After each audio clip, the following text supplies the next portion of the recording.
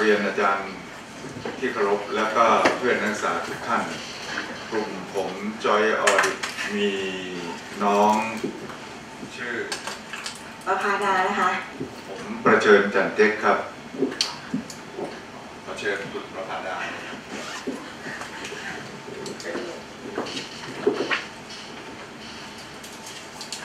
ค่ะ เริ่มต้นด้วยหัวข้อที่มาและความสำคัญนะคะ ในหลายปีที่ผ่านมานะคะได้มีการตระหนักในเรื่องคุณภาพของการสอบบัญชีมากขึ้นค่ะ โดยเฉพาะในด้านความเป็นอิสระของผู้สอบบัญชีค่ะ ผู้มีส่วนได้เสียหลายกลุ่มนะคะ อย่างเช่น ผู้ที่มีหน้าที่กำกับดูแล พยายามที่จะสร้างข้อกำหนดต่างๆ เพื่อใช้ในการควบคุมจรรยาบรรณของผู้ประกอบวิชาชีพนะคะ ในเรื่องของความเป็นอิสระของผู้สอบบัญชี โดยมีเหตุผลที่ว่าความเป็นอิสระของผู้สอบบัญชีนั้น เป็นองค์ประกอบที่จำเป็นอย่างยิ่งสำหรับความน่าเชื่อถือของคุณภาพการตรวจสอบงบการเงินและ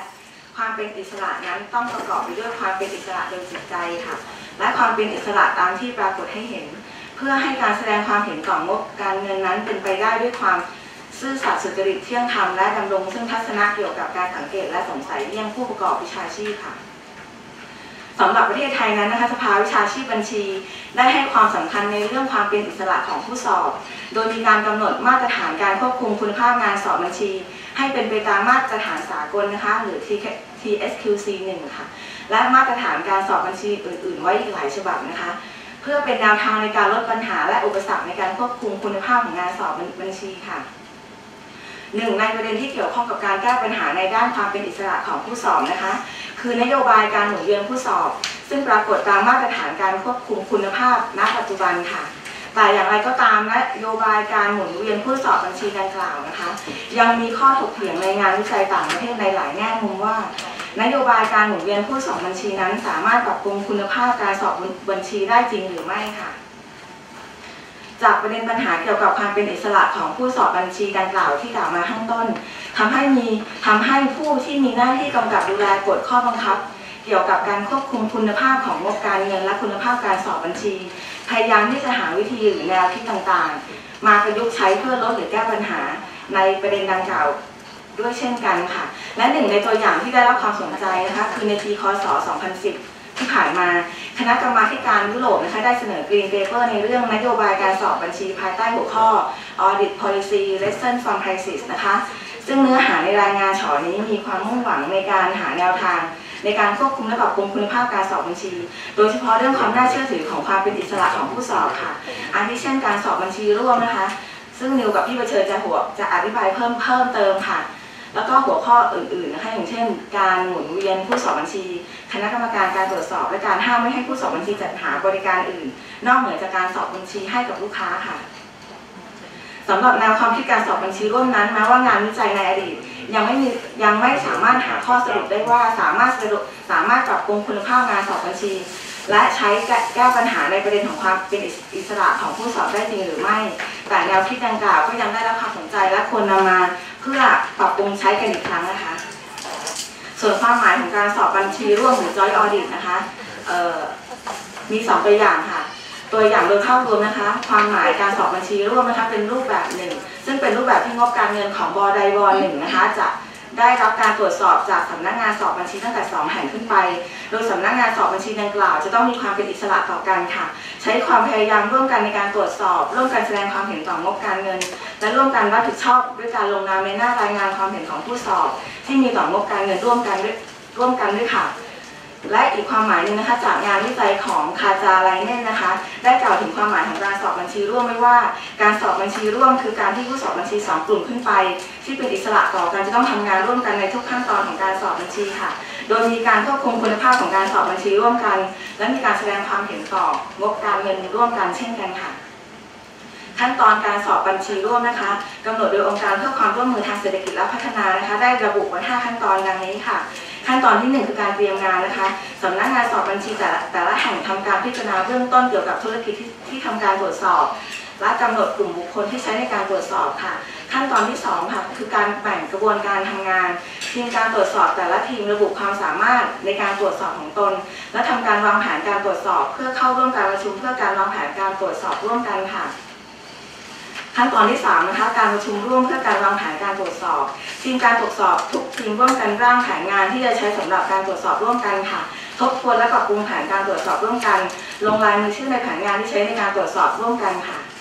ข้อ4นะคะการปฏิบัติงานตรวจสอบ ทีมงานตรวจสอบทุกทีมร่วมกันขอข้อมูลจากลูกค้า และร่วมกันทำการตรวจสอบจัดการประชุมกับลูกค้าโดยทีมการตรวจสอบทุกทีมจะต้องเข้าร่วมค่ะ ไม่จัดการประชุมเพียงทีมใด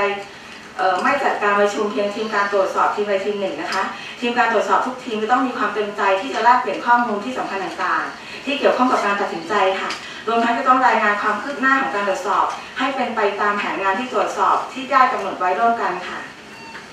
ข้อสุดท้ายค่ะ การปฏิบัติงานตรวจสอบและการออกแบบรายงานการสอบบัญชีนะคะ ทีมการตรวจสอบทุกทีมจัดเตรียมข้อมูล พื่อเข้าร่วมการประชุมครั้งสุดท้าย ร่วมกันจะทำรายงานตรวจสอบปรับปรุงแก้ไขและรายงานการตรวจสอบ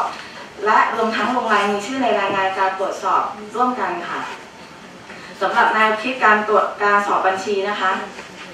แม้ว่าการแนวแม้ว่าแนวคิดการสอบบัญชีร่วมจะเป็นเรื่องใหม่สำหรับประเทศไทยนะคะแต่มีงานวิจัยในหลายประเทศ ที่ทำการทดสอบผลการผลกระทบของการสอบบัญชีร่วมที่มีต่อคุณภาพของงานสอบบัญชีค่ะ โดยพบว่าบอร์ดที่มีการใช้นโยบายการสอบบัญชีร่วมจะมีรายการคงค้างที่ผิดปกติต่ำกว่าบอร์ดที่ไม่ได้มีการใช้นโยบายดังกล่าวนะคะ และสรุปได้ว่านโยบายการสอบบัญชีร่วมนั้นสามารถปรับปรุงคุณภาพงานตรวจสอบ และปรับปรุงการรับรู้คุณภาพงานตรวจสอบได้ค่ะแต่อย่างไรก็ตามการปฏิบัติตามนโยบายการสอบบัญชีร่วม ส่งผลให้บอร์ดต่างๆ ที่ดำเนินตามนโยบายดังกล่าว จะต้องรับภาระในส่วนของต้นทุนการตรวจสอบบัญชีเพิ่มสูงขึ้นนะคะ นอกจากประเด็นดังกล่าวยังมีงานวิจัยอีกหลายงาน ที่กล่าวถึงข้อดีของการสอบบัญชีร่วมค่ะสามารถสรุปได้ได้อีก 3 ประเด็นนะคะ 1. การสอบบัญชีร่วมสามารถแก้ปัญหาที่เกิดจากนโยบายการหมุนเวียนผู้สอบค่ะ 2. การสอบบัญชีร่วมช่วยเพิ่มความเชื่อมั่นในประเด็นของความเป็นอิสระของผู้สอบค่ะ และประเด็นที่ 3 ค่ะ การสอบบัญชีร่วมช่วยเพิ่มความเชื่อมั่นของรายงานทางการเงินนะคะ สำหรับในส่วนของตลาดของธุรกิจการสอบบัญชีค่ะ การกระจุกตัวของตลาดในกลุ่มของสำนักงานสอบบัญชีขนาดใหญ่ ที่มีชื่อเสียงเพียงไม่กี่ราย ซึ่งประเด็นนี้เป็นประเด็นที่ได้รับความสนใจจากผู้ที่มีหน้าที่ควบคุมดูแล และนักวิจัยหลายกลุ่มนะคะรวมถึงได้ถูกกล่าวในรายงาน Key Paper เช่นกัน ที่คณะกรรมการสหภาพยุโรปได้เสนอแนะว่า ระดับการกระจุกตัวของตลาด ธุรกิจสอบบัญชีในปัจจุบันกำลังสร้างความเสี่ยงที่เป็นระบบค่ะ เนื่องจากการล่มสลายของเครือข่ายงานตรวจสอบระหว่างประเทศขนาดใหญ่ จะส่งผลต่อการเปลี่ยนแปลงของตลาดการสอบบัญชีค่ะ โดยการสอบบัญชีร่วม ก็อาจจะเป็นแนวทางที่สามารถลดระดับการกระจุกตัวที่ที่เป็นปัญหาอยู่ณปัจจุบันได้ค่ะ เป็นเพียงแค่แนวคิดนะคะที่เดียวค่ะขอบคุณมากครับนึกว่าจะไม่ได้พูด จากการที่เราเข้าไปศึกษางานวิจัย โดยเฉพาะมหาลัยธรรมศาสตร์เราต้องขอบคุณครับ เข้าเข้าไปศึกษาแล้วได้นะในในรายงานการวิจัยประเทศที่ใช้ Joy Audit มาอย่างแคนาดาใช้ 2,466 ใช้กับสถาบันการเงิน 2,000เอ่อ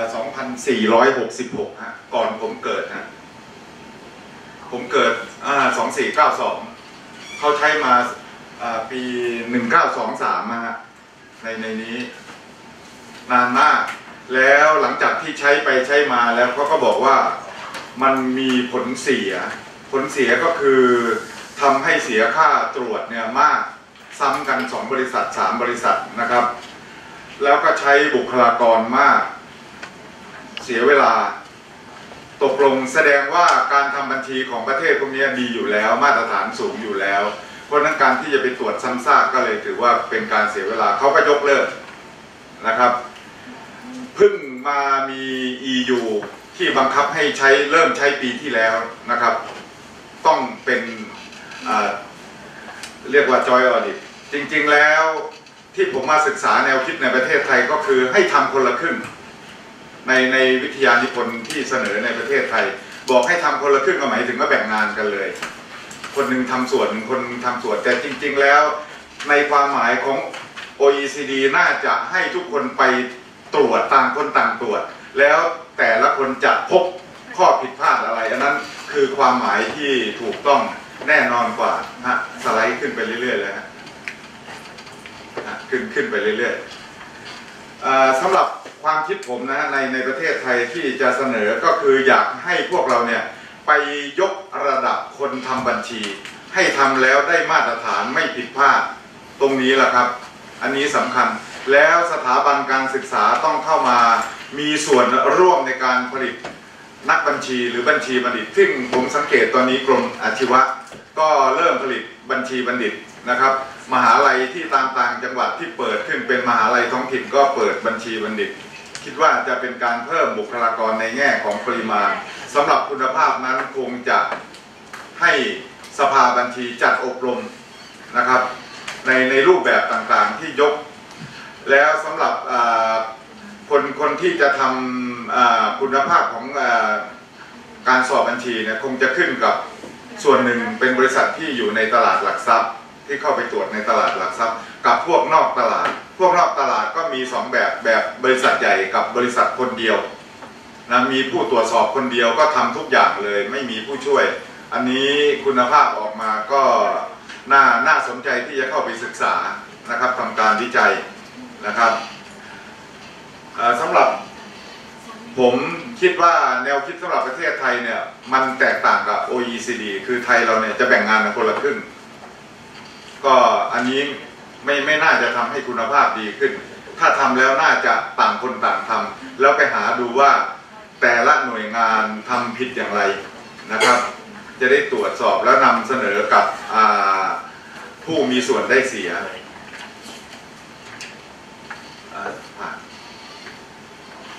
ก็สำหรับรายงานที่เราทำก็ได้ส่งแล้ว แล้วก็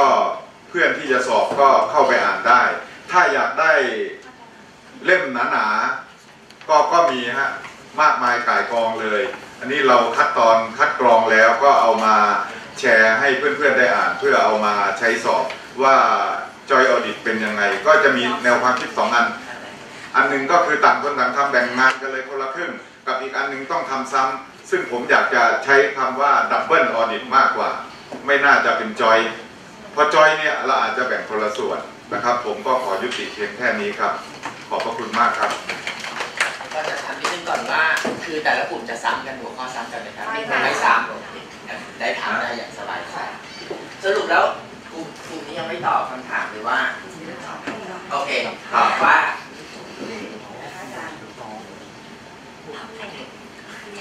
คำถามที่อาจารย์ดาวถามเราในหัวข้อ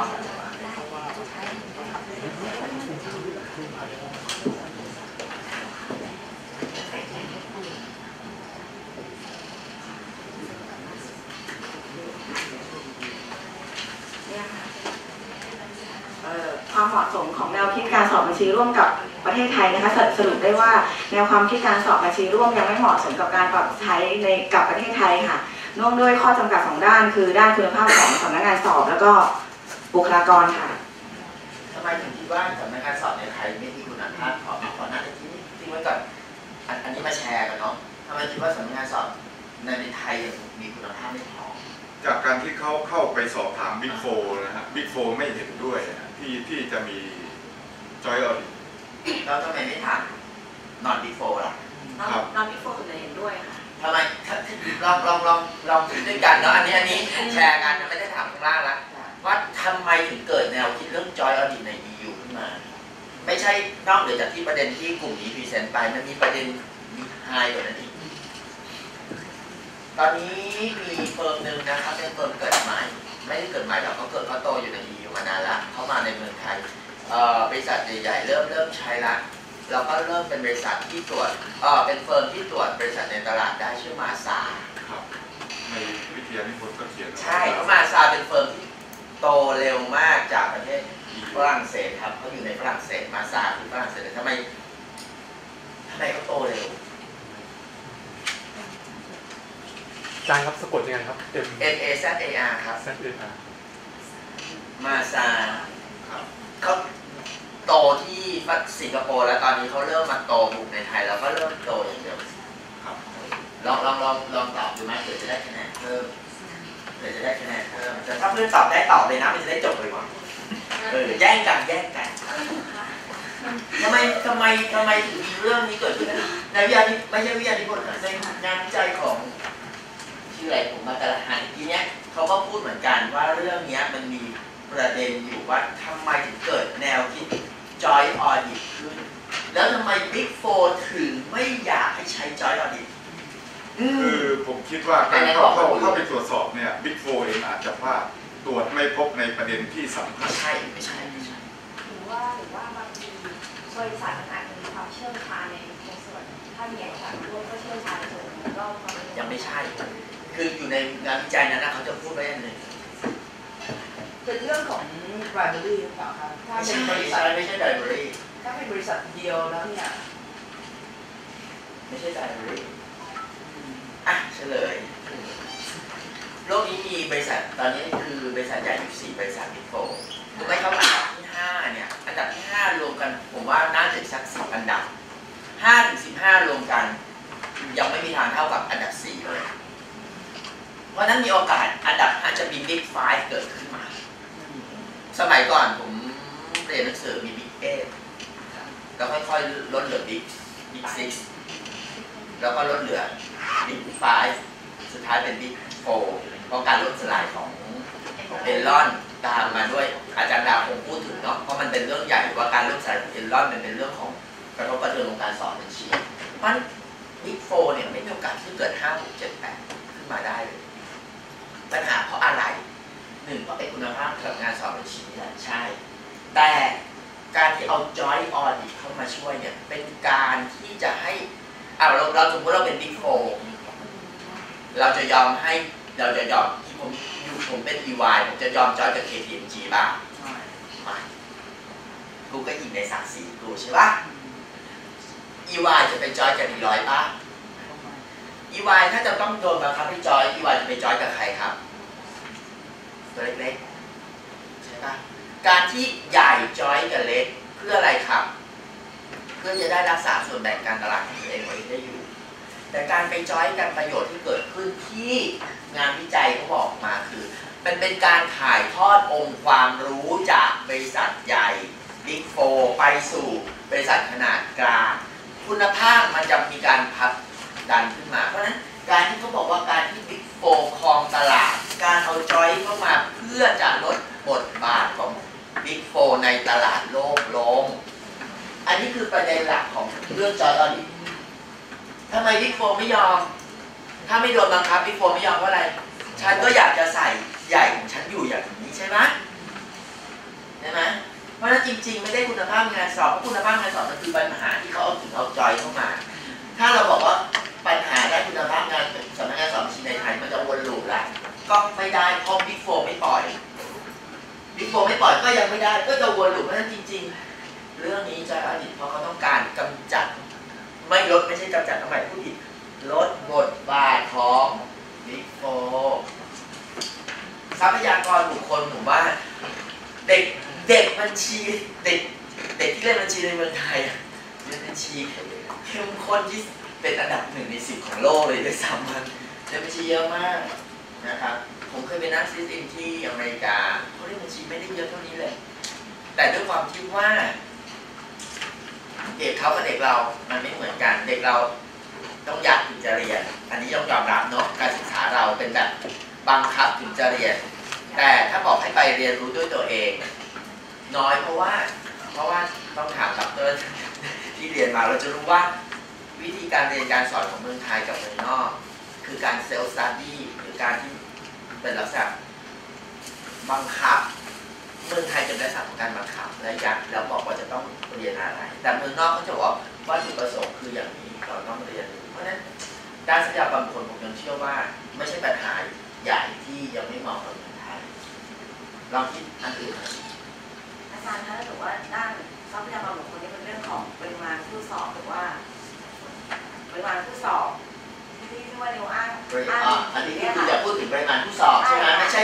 เพราะฉะนั้นค่ะมันไม่ใช่คำว่าทรัพยากรบุคคลนะมันต้องเป็นคำอื่นค่ะเป็นจำนวนผู้สอบค่ะอ่าผมอาจจะใช้หัวข้อใหญ่หน่อยโอเคเป็นจำนวนผู้สอบจำนวนบุคคลที่ทำงานเกี่ยวกับการสอบเนี่ยโอค่ะเคอันนี้ได้ยังพอได้โอเคมีน้อยไปหน่อยอะไรเงี้ยอาจจะทำให้คุณภาพลดลงได้เพื่อนๆอยากอยากรู้ประเด็นอะไรไหมเผื่อผมจะได้แชร์ได้ว่าถ้าฟังฟังมาแล้วยังไม่ค่อยเคลียร์ มาแชร์กันผมว่าเออผมไม่สอนวิชานี้เนื่องจากว่าเมื่อผมจะสอนปีละนี่เทอมเลยผมเหนื่อยมากผมเลยบอกดาวช่วยพี่เอาไปสักหนึ่งวิชาดาวบอกว่าดาวชอบวิชานี้เพราะว่าดาวจะยัดอะไรได้เยอะมากลงมาเยอะนะอาจารย์ดาวสอนหลายเรื่องมากใช่ปะมันต่างกับวิชาสอบบัญชีที่ต้องอ่านพื้นฐานก่อนนะอาจะดาวเริ่มเสริมไปชอบมากเลยวันนี้ผมว่าเอาผมมาฟังให้ก็ได้อาจะดาวอยู่บนเนอกผมมาฟังนะมีไหมใครอยากรู้อะไรอีกไหมเกี่ยวกับ จอยออดีตอาจารย์ถ้าสอบบัญชีร่วมนี่มีทางเป็นไปได้ไหมคะที่จะต้องถูกเอ็กซ์ตีบ้านเราเออผมว่าถ้ายังไม่ถึงขั้นบังคับในไอของ iPad อะนะครับ OECD ยังยังยังยังยังไม่ใช่จุดที่จะมาบังคับในเมืองไทยได้ ถ้า iPad เรารู้จัก iPad เนาะเราเรียนกัน iPad ชีสไลด์แรกของวิชาสอบบัญชีเลย iPad คือ International Federation of Accountants นะครับก็คือสาสาหพันธ์การบัญชีระหว่างประเทศถ้าเขายังไม่บังคับไม่น่าจะยังบังคับในประเทศไทยได้ เพราะว่าข้อจำกัดอย่างหนึ่งในที่นี้ของการที่ยังบังคับใช้ในอื่นไทยไม่ได้คือเรื่องอะไรนะเอ่อไม่ใช่ในเมืองไทยในทั่วโลกคือเอ่อข้อข้อเสียของมันคืออะไรแต่นี้มีคือแบบค่าใช้จ่ายสูงค่าใช้จ่ายสูงขึ้นมันจะไปมองเป็นการผลักภาระว่าทำไมถึงไม่ไม่ ไม่พัฒนาตัวผู้สอบมากกว่าจะมาผลักแทนแต่มาผลักภาระให้กิจการใช่ปะมันจะมีปัญหาเรื่องในนี้ความคิดผมนะอาจารย์ผมว่าน่าจะไปพัฒนาคนที่ทำบัญชีให้มีความรับผิดชอบ ให้ทำไปแล้วพูดง่ายๆว่าไม่มีข้อตำหนิเลย ไม่มีข้อผิดพลาดเลยในทางบัญชีจริงๆมันต้องไปด้วยกันคุณประเสริฐพูดถูกว่าทั้งทั้งผู้ทางแล้วก็ทั้งผู้สอบ นะครับต้องไปด้วยกันหมดนะครับถึง IES International Education Standard ของ Accounting นะก็เลยพยายามผลักดันเรื่องจรรยาบรรณวิชาชีพต่างๆ ให้ใส่ลงไปในวิชาเลยนะทำให้วิชาสอบบัญชีเป็นของผมเป็นวิชาที่จะต้องสอบจรรยาบรรณหนึ่งบทเลยจำได้ใช่ปะจรรยาบรรณออกมาหนึ่งบทเลยว่าอะไรทำผิดไม่ผิดนะครับเพราะว่าเขามองดูว่าอย่างที่บอกเลยสไลด์ตอนแรกที่พูดมาคือเรื่องของอะไรนะจิตสำนึก จิตสำนึกจริง ๆ แล้วที่อาจารย์เอามาให้ไอ้สามเหลี่ยมของการทุจริตนะครับมันมีอยู่อันคนอยากมีความอยากที่จะโกงอยากได้อยากดีอยากได้มากๆอยู่แล้ว เราก็ต้องไปจำกัดอีกสองตัวเท่านั้นใช่แต่จริงๆคนคำว่าอยากได้มันสามารถเอาปรัชญาพูดมากำจัดได้ว่าคุณต้องรู้จักเพียงพอถ้าเราสอนให้คุณรู้จัก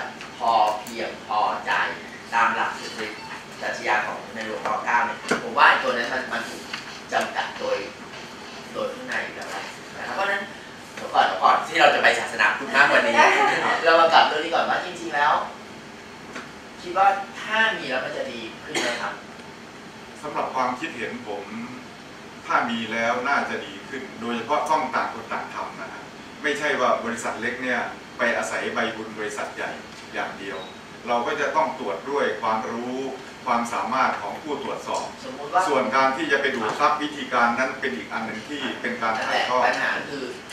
ผมบอกว่าวัตถุประสงค์หลักของร้อยออดิตที่บอกไปก็คือหนึ่งความน่าเชื่อถือของการเพิ่มขึ้นสองในการถ่ายทอดเอ่อตัวตัว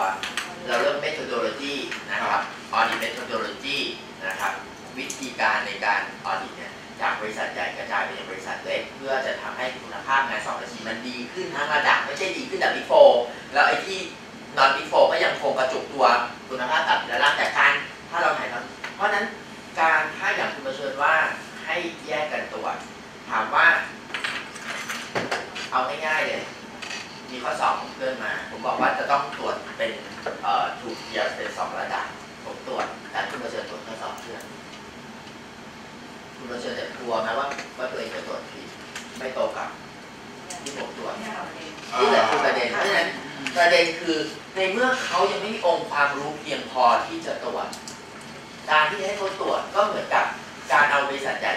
เขาคือกลัวว่าความเห็นไม่ตรงกันก็ก็ก็ก็ไม่กล้าลงใช่งานไม่ได้เพราะฉะนั้นการที่ทำไมต้องจอยด้วยกันตั้งแต่ต้น4 step จริงๆแล้วที่พิเศษมาคือ4 step ที่เราเรียนกันในวิชา audit เลยใช่ปะตั้งแต่วางแผนว่าเอ่อตั้งแต่การประเมินวางแผนตรวจสอบสรุปผล4 step มันเป็น step ระดับโลกอยู่แล้วเพียงแค่เอาทุกอย่างมาจอยกันอาจารย์คะแต่มันก็เป็นไปได้ที่ว่าจะแยกรายงานในกรในกรณีที่มีความเห็นต่างนะคะ แต่ว่าในไม่ได้ครับ ในตาม OECD จะต้องลงในฉบับเดียวกัน เท่านั้นลงซ้ายลงขวาเป็นไปไม่ได้เลยต้องลงต้องหาสรุปให้ได้ ถ้าสรุปไม่ได้ลงความเห็นไม่ได้ออก auditor report ไม่ได้ครับ ตาม OECD ตามที่เขาทำอย่างนั้น ซึ่งฝรั่งเศสอะเป็นโมวอร์เนอรี่รับมาตั้งแต่ปี 2010 แล้วมั้งถ้าจำไม่ผิดโอเค ได้ครับตอนนี้ตอนนี้ แล้วที่บอกว่าของของ PVC ไปร้อยได้ถือว่าเป็นร้อยแต่ว่า PVC มีจีนกับ PVC ของไทยถึงเป็นจอยเอาไม่ได้ครับต้องอยู่ในประเทศเดียวกัน CPA อย่าลืมสิ CPA เซ็นข้าม territory ไม่ได้ แต่ว่าในการการที่จะเปิดสแตนด์ก่อนเพื่อเป็นคอนโซลเราจะส่งอันนั้นเป็นเรื่องของ group audit เป็นเรื่องของเป็นเรื่องของ audit โดยตัวเองอยู่แล้วคือหมายความว่าเอ่อ ตามข้อบังคับของบางประเทศอย่างประเทศไทยนะครับบริษัทแม่ตรวจใช้ใครตรวจบริษัทลูกก็ต้องใช้คนนั้นตรวจยกเว้นว่าบริษัทอยู่นั้นอยู่ต่างประเทศ แล้วไม่มี firm นั้นตรวจจะมีวิธีการคือส่ง staff ที่เมืองไทยไปตรวจหรือก็คือถ้าส่ง staff ที่เมืองไทยไปตรวจก็เราตรวจเองแต่ถามว่าส่ง staff ที่เมืองไทยไปตรวจ เท่ากับเป็นไอตัวเอ่อเป็นงบ stat ของประเทศนั้นไหมก็ไม่ได้ เพราะว่า auditor ที่เมืองไทยไม่สามารถเซ็นรับรอง auditor ที่ ประเทศอื่นได้ เพราะฉะนั้นการข้ามข้ามอาณาเขต มันก็คือ firm เดียวกันอยู่ดี เพราะวัตถุประสงค์หลักกลับมาที่เราคือเรื่องของ methodology ที่ต้องการกระจายใช่ปะเอา firm เดียวกันตรวจแล้วบอกเซ็นสองคนคนหนึ่งเอ่อ PVC ไทย PWC เอ่อจีนมันมันไม่ได้มันไม่ได้แต่ถ้าถูกบังคับขึ้นมาจริงๆแล้วเขาก็พี่โฟก็แค่ไปตั้งบริษัท เออมีการหนึ่งที่บอกว่าคืออะไร